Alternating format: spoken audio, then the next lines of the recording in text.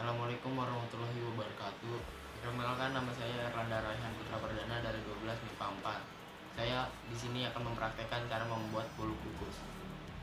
Nah, bahan-bahan pertama ada terigu sebanyak 2 gelas, ada susu cair 1 gelas, telurnya 1 butir, ada el musir 1 sendok dan gulanya 1 gelas. Nah, langsung aja kita campurin semuanya.